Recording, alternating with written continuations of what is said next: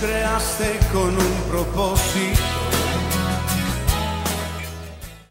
Queremos darte gloria y honor, queremos darte la